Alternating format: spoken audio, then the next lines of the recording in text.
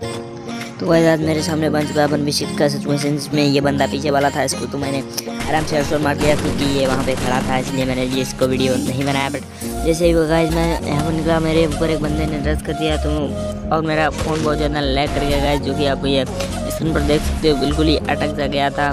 मेरा लो RAM device है मैंने आपको पहले भी बताया था।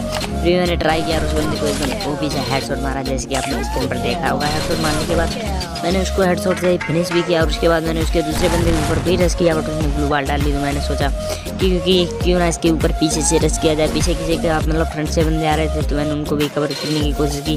मैंने सोचा शायद नहीं निकलेगा बट वो नहीं निकला तो मैंने यहाँ से फ्रंट से निकला, तब तक मेरे को और डैमेज पड़ जाता है तब तक उसके वो साइड वाले बंदे मेरे ऊपर रस करते हैं तब तक मैंने उसको एक बंदे को और हेडशॉट मार देता हूँ। और उसको जैसे ही हेडशॉट मारता हूँ, तब तक उसके सारे बंदे मेरे ऊपर रस कर दिया मैं उसको मारता हूँ, तब तक उसके दोनों बंदों ने मेरे ऊपर रस कर दिया था। शायद मैंने ग्लू से कवर किया कैसे भी, और मैं साइड में गया, तब तक उसके बंदे ने मेरे ऊपर रस कर दिया। बिल्कुल बहुत ही बहुत ही बायात तरीके से जैसे मैंने कवर किया, वो मेरी ग्लू के अंदर आ गया। कैसे आप मेरी एच पी देख सकते हो यहाँ पे गिरनी बच भी। और यहाँ पे पाँच एच पी बची सिर्फ़, और यहाँ पे मैं नौ को जाता हूँ गाइस और इसके बाद क्या होता है, आप जो स्क्रीन पर देख लीजिए। जैसे मैंने इंजेक्शन लगाता हूँ, उसके बाद मैं हील होता जाता हूँ। उसके बाद मैं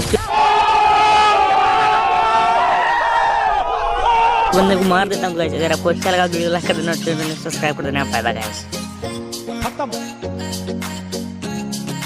bye bye, Tata, goodbye, गया।